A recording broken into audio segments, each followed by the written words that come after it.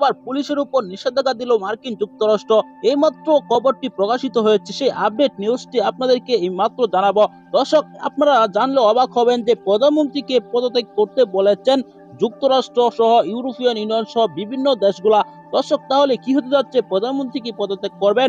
এসব বিষয় নিয়ে জানলে আপনি অবাক হয়ে যাবেন। দর্শক, বিস্তারিত ভিডিওতে আমরা দেখে আসি। অত্যন্ত গুরুত্বপূর্ণ একটি ভিডিও, তাই ভিডিওটি না টেনে পুরো ভিডিওটি দেখতে থাকুন।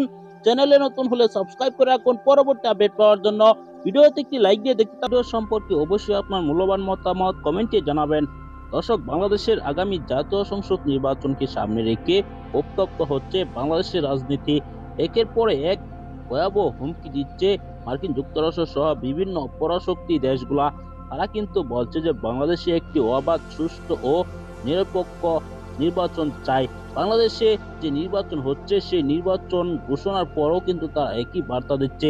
এতে কিন্তু বোঝা যাচ্ছে যে বাংলাদেশের যে নির্বাচন হবে, সেই নির্বাচন যে সুষ্ঠু হবে না, এটি কিন্তু তারা স্পষ্টভাবে বুঝে গিয়েছে। সেজন্যই কিন্তু তারা বারবার বাংলাদেশের অবাধ সুষ্ঠু নির্বাচনের দাবি জানাচ্ছে। দর্শক, আপনারা জানেন যে বর্তমান সময়ে বিরোধী দলের নেতা কর্মীরা রাজপথে আন্দোলন করছে। তাদের দাবি এখন পর্যন্ত মানল না বাংলাদেশ সরকার। দর্শক নির্বাচনকে ঘিরে নানা আলোচনা সমালোচনা হচ্ছে যে তারা একটি সংঘাতের দিকে এগিয়ে যাচ্ছে।